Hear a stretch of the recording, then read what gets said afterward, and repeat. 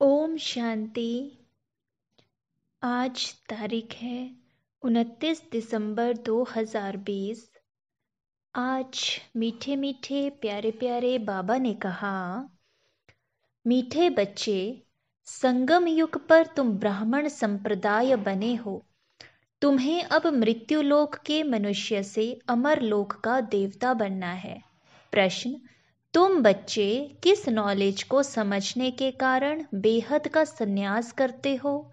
उत्तर, तुम्हें ड्रामा की यथार्थ नॉलेज है। तुम जानते हो ड्रामा अनुसार अब इस सारे मृत्यु लोक को भस्मीभूत होना है। अभी यह दुनिया वर्थ नोटे पैनी बन गई है। हमें वर्थ पाउंड बनना है।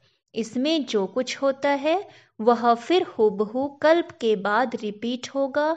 इसलिए तुमने इस सारी दुनिया से बेहद का संन्यास किया है।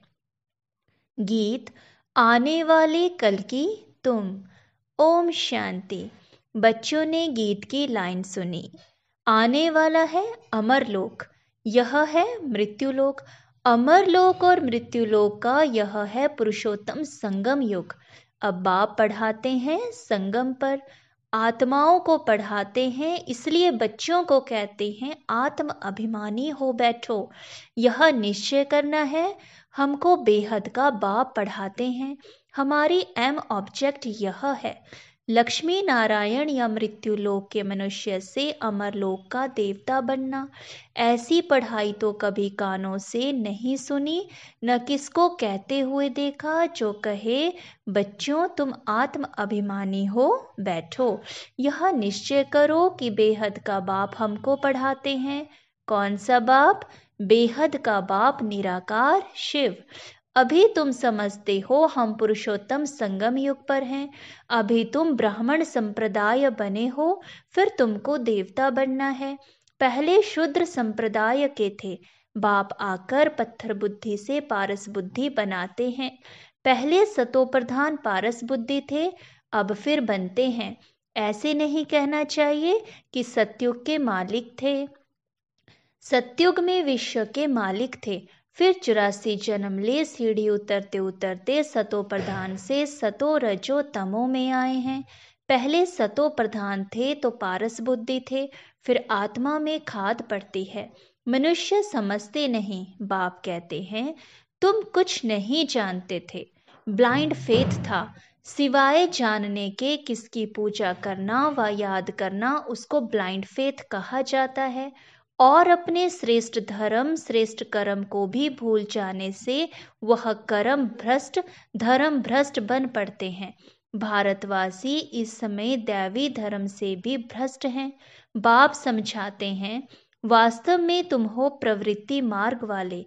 वही देवताएँ जब अपवित्र बनते हैं, तब देवी देवता कह नहीं सकते, इसलिए नाम बदल हिंदू धर्म रख दिया है। यह भी होता है ड्रामा प्लान अनुसार। सभी एक बाप को ही पुकारते हैं। हे पतित पावन, आओ, वह एक ही गॉड फादर है, जो जन्म मरण रहित है। ऐसे नहीं कि नाम रूप से न्यारी कोई चीज़ है आत्मा का व परमात्मा का रूप बहुत सूक्ष्म है, जिसको स्टार व बिंदु कहते हैं। शिव की पूजा करते हैं, शरीर तो है नहीं। अब आत्मा बिंदी की पूजा हो न सके, इसलिए उनको बड़ा बनाते हैं पूजा के लिए। समझते हैं शिव की पूजा करते हैं, परंतु उनका रूप क्या है वह नहीं जानते। यह सब बातें बाप इसमें ही आकर समझाते हैं। बाप कहते हैं, तुम अपने जन्मों को नहीं जानते हो। चुरासी लाख योनियों का तो एक गपोड़ा लगा दिया है। अब बाप तुम बच्चों को बैठ समझाते हैं, अभी तुम ब्राह्मण बने हो, फिर देवता बनना है। कलयुगी मनुष्य है शुद्र। तुम ब्राह्मणों की एम ऑब्जेक्ट है मनुष्य से देवता बनने की। यह मृत्युलोक पतित दुनिया है। नई दुनिया वह थी, जहाँ यह देवी देवताएँ राज्य करते थे। एक ही इनका राज्य था, यह सारे विश्व के मालिक थे। अभी तो तमो प्रधान दुनिया है, अनेक धर्म हैं। यह देवी देवता धर्म प्रायः लोप हो गया है। देवी देवताओं का राज्य कब था, कितना समय चला, यह वर्ल्ड की हिस्ट्री ज्योग्राफी कोई नहीं जानते। बाप ही आकर तुमको समझाते हैं। यह है गॉड फादरली वर्ल्ड यूनिवर्सिटी जिसकी एम ऑब्जेक्ट है। अमर लोक का देवता बनाना, इनको अमर कथा भी कहा जाता है। तुम इस नॉलेज से देवता बन काल पर जीत पाते हो। वहाँ कभी काल खा नहीं सकता, मरने का वहाँ नाम नहीं। अभी तुम काल पर जीत पहन रहे हो। ड्रामा के प्लान अनुसार भारतवासी भी पाँच वर्ष या दस वर्ष का प्लान बनाते हैं ना? समझते हैं हम राम राज्य स्थापन कर रहे हैं। बेहद के बाप का भी प्लान है राम राज्य बनाने का। वह तो सब है मनुष्य। मनुष्य तो राम राज्य स्थापन कर न सके। राम राज्य कहा ही जाता है सत्युग को। इन बातों को कोई जानते नहीं है। मनुष्य कितनी भक्ति करते हैं? जिस्मानी यात्राएँ करते हैं। दिन अर्थात सत्युग तरेता में इन देवताओं का राज्य था। फिर रात में भक्ति मार्ग शुरू होता है। सत्युग में भक्ति नहीं होती है। ज्ञान, भक्ति, वैराग्य यह बाप समझाते हैं। वैराग्य दो प्रकार का है। एक है हठ योगी निवृत्ति मार्ग वालों का। वह घर बार छोड़ जंगल में जाते हैं।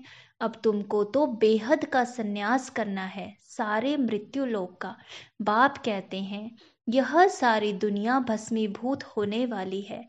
ड्रामा को बहुत अच्छी रीति समझना है। जो मिसल टिक टिक होती रहती है, जो कुछ होता है, फिर कल्प पाँच हज़ार वर्ष बाद हूबहू रिपीट होगा। इसको बहुत अच्छी रीति समझकर बेहद का संन्यास करना है। समझो कोई विलायत जाते हैं, कहेंगे, वहाँ हम यह नॉलेज पढ़ सकते हैं। बाप कहते हैं हाँ कहाँ भी बैठ तुम पढ़ सकते हो। इसमें पहले सात रोज का कोर्स लेना पड़ता है। बहुत सहज है। आत्मा को सिर्फ़ यह समझना होता है। हम सतो प्रधान विश्व के मालिक थे, तब सतो प्रधान थे, अब तमो प्रधान बन गए हैं। चुरासी जन्मों में बिल्कुल ही वर्थ नौटे पैनी बन पड़े हैं। अब फिर हम पाउंड कैसे बने? अब कलयुग है, फिर ज़रूर सत्युग होना है।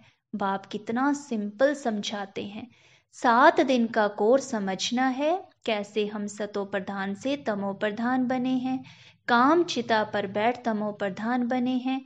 अब फिर ज्ञान चिता पर बैठ सतो प्रधान बनना है।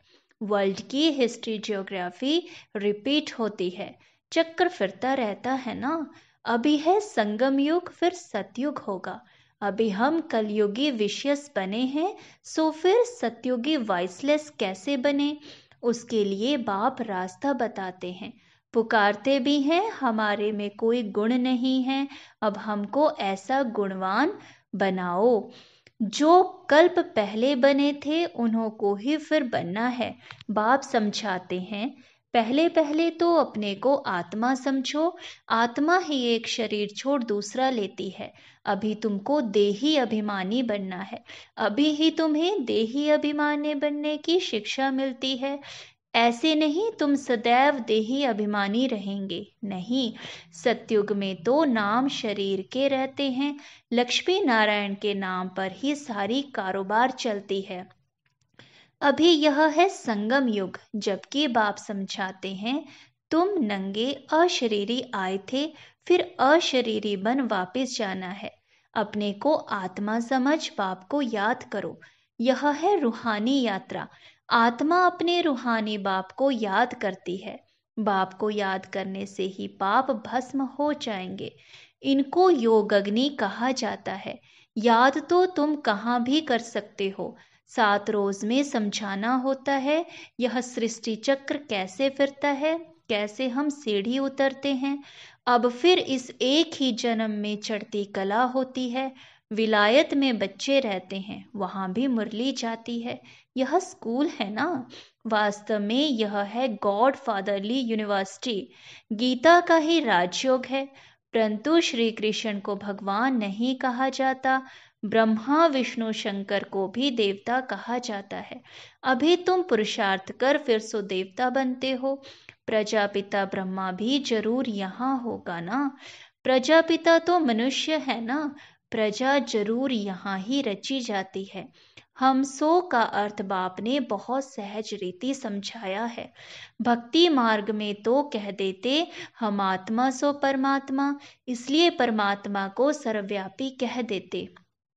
बाप कहते हैं, सब में व्यापक है आत्मा, मैं कैसे व्यापक होऊँगा? तुम मुझे बुलाते ही हो। हे पतित पावन, आओ हमको पावन बनाओ। निराकार आत्माएँ सब आकर अपना अपना रथ लेती हैं। हर एक अकाल मूर्त आत्मा का तख्त है यह। तख्त कहो अथवा रथ कहो, बाप को तो रथ है नहीं, वह निराकार ही गाया जाता है। न सूक्ष्म शरीर है, न स्थूल शरीर है। निराकार खुद रथ में जब बैठे तब बोल सके। रथ बिगर पतितों को पावन कैसे बनाएँगे? बाप कहते हैं, मैं निराकार आकर इनका लोन लेता हूँ। टेम्पररी लोन लिया है, इनको भाग्यशाली रथ कहा जाता है। बाप ही सृष्टि के आदि मध्य अंत का राज बताए, तुम बच्चों को तरीकालदर्शी बनाते हैं और कोई मनुष्य यह नॉलेज जान नहीं सकते। इसमें सब नास्तिक हैं, बाप आकर आस्तिक बनाते हैं। रचयिता रचना का राज बाप ने तुमको बताया है, अब तुम्हारे सिवाय और कोई समझा न सके। तुम ही इस ज्ञान से फिर यह इतना ऊंच पद पाते हो। यह ज्ञान सिर्फ़ अभी ही तुम ब्राह्मणों को मिलता है। बाप संगम पर ही आकर यह ज्ञान देते हैं। सदगति देने वाला एक बाप ही है। मनुष्य मनुष्य को सदगति दे ना सके। वह सब गुरु हैं भक्ति मार्ग के। सतगुरु एक ही है, उनको कहा जाता है वाह सतगुरु वाह। इनको पाठशाला भी कहा जाता है। एम ऑब्जेक्ट नर से नारायण बनने की है। वह सब है भक्ति मार्ग की कथाएँ। गीता से भी कोई प्राप्ति नहीं होती। बाप कहते हैं, मैं तुम बच्चों को सम्मुख आकर पढ़ाता हूँ, जिससे तुम यह पद पाते हो। इसमें मुख्य है पवित्र बनने की बात। बाप की याद में रहना है, इसी में ही माया विघन डालती है। तुम बाप को याद करते हो अपना वर्षा पाने के लिए। यह नॉलेज सब बच्चों के पास जाती है। कभी भी मुरली मिस ना हो। मुरली मिस हुई, गोया एबसेंट पड़ जाती है। मुरली से कहाँ भी बैठे रिफ्रेश होते रहेंगे। श्रीमत पर चलना पड़े। बाहर में जाते हैं तो बाप समझाते हैं, पवित्र ज़रूर बनना है। वैष्णव होकर रहना है। वैष्णव भी दो प्रकार के होते हैं। वैष्णव वल्लभाचारी भी होते हैं, परंतु विकार में जाते हैं। पवित्र तो है नहीं। तुम पवित्र बन विष्णु वंशी बनते हो। वहाँ तुम वैष्णव रहेंगे, विकार में नहीं जाएँगे। वह है अमर लोक, यह है मृत्यु लोक। यहाँ विकार में जाते हैं, अभी तुम विष्णुपुरी में जाते हो, वहाँ विकार होता नहीं। वह है वाइसलेस वर्ल्ड योग बल से तुम विश्व की बादशाही लेते हो। वह दोनों आपस में लड़ते हैं, माखन बीच में तुमको मिलता है। तुम अपनी राजधानी स्थापन कर रहे हो सभी को यही पैगाम देना है। छोटे बच्चों का भी हक है। शिव बाबा के बच्चे हैं ना तो सबका हक है, सबको कहना है। अपने को आत्मा समझो। माँ बाप में ज्ञान होगा तो बच्चों को भी सिखाएँगे। शिव बाबा को याद करो, सिवाय शिव बाबा के दूसरा न कोई। एक की याद से ही तमो प्रधान से सतो प्रधान बन जाएँगे। इसमें पढ़ाई बहुत अच्छी चाहिए। विलायत में रहते भी तुम पढ़ सकते हो। इसमें किताब आदि कुछ भी नहीं चाहिए। कहाँ भी बैठे तुम पढ़ सकते हो। बुद्धि से याद कर सकते हो। यह पढ़ाई इतनी सहज है। योग अथवा याद से बल मिलता है। तुम अभी विश्व का मालिक बन रहे हो। बाप राजयोग सिखाकर पावन बनाते हैं। वह है हठ योग यह है राजयोग। इसमें परहेज बहुत अच्छी रीति चाहिए। इन लक्ष्मी नारायण जैसा सर्वगुण संपन्न बनना है ना? खान पान की भी परहेज चाहिए। और दूसरी बात, बाप को याद करना है तो जन्म जन्मांतर के पाप कट जाएँगे। इसको कहा जाता है सहज राजयोग। राजाई प्राप्त करने के लिए अगर राजाई न ली तो गरीब बन जाएँगे। श्रीमत पर पूरा चलने से श्रेष्ठ बनेंगे। भ्रष्ट से श्रेष्ठ बनना है। उसके लिए बाप को याद करना है। कल्प पहले भी तुमने ही यह ज्ञान लिया था, जो फिर अब लेते हो। सत्युग में और कोई राज्य नहीं था, उसको कहा जाता है सुखधाम। अभी यह है दुखधाम, और जहाँ से हम आत्माएँ आई हैं, वह है शांति धाम शिव बाबा को वंडर लगता है। दुनिया में मनुष्य क्या क्या करते हैं? बच्चे कम पैदा हों, उसके लिए भी कितना माथा मारते रहते हैं। समझते नहीं, यह तो बाप का ही काम है। बाप झट एक धर्म की स्थापना कर, बाकी सब अनेक धर्मों का विनाश करा देते हैं, एक धक से। वो लोग कितनी दवाइयाँ आदि निकालते हैं, पैदाइश कम करने लिए। बाप के पास तो एक ही दवाई है, एक धर्म की स्थापना होनी है। वह समय आएगा, सब कहेंगे, यह तो पवित्र बन रहे हैं। फिर दवाई आदि की भी क्या दरकार है? तुमको बाबा ने ऐसी दवाई दी है, मन मना भव की, जिससे तुम 21 जन्मों के लिए पवित्र बन जाते हो। अच्छा मीठे मीठे सिकीलधे बच्चों प्रति मात पिता बाप दादा का याद प्यार और गुड मॉर्निंग रूहानी बाप की रूहानी बच्चों को नमस्ते। हम रूहानी बच्चों की रूहानी बाप दादा को याद प्यार गुड मॉर्निंग और नमस्ते। धारणा के लिए मुख्य सार नंबर एक, पवित्र बनकर पक्का वैष्णव बनना है। खान पान की भी पूरी परहेज करनी है। श्रेष्ठ बनने के लिए श्रीमत पर ज़रूर चलना है। नंबर दो, मुरली से स्वयं को रिफ्रेश करना है। कहाँ भी रहते सतो प्रधान बनने का पुरुषार्थ करना है, मुरली एक दिन भी मिस नहीं करनी है। वरदान, जुदाई को सदा काल के लिए विदाई देने वाले स्नेही स्वरूप भव। जो स्नेही को पसंद है, वही स्नेह करने वाले को पसंद हो। यही स्नेह का स्वरूप है। चलना, खाना, पीना, रहना, स्नेही के दिल पसंद हो। इसलिए जो भी संकल्प व कर्म करो तो पहले सोचो कि यह स्नेही बाप के दिल पसंद है। ऐसे सच्चे स्नेही बनो तो निरंतर योगी, सहज योगी बन जाएँगे। यदि स्नेही स्वरूप को समान स्वरूप में परिवर्तन कर दो तो अमर भव का वरदान मिल जाएगा और जुदाई को सदा काल के लिए विदाई मिल जाएगी। श्लोगन स्वभाव इजी और पुरुषार्थ अटेंशन वाला बनाओ। स्वभाव इजी और पुरुषार्थ अटेंशन वाला बनाओ। शुक्रिया बाबा, शुक्रिया। अगर आपको मेरा वीडियो अच्छा लगा तो आप मेरे चैनल को सब्सक्राइब कीजिए, ताकि डेली शिव बाबा मुरली आपके पास सबसे पहले पहुँचे। अच्छा ओम शांति।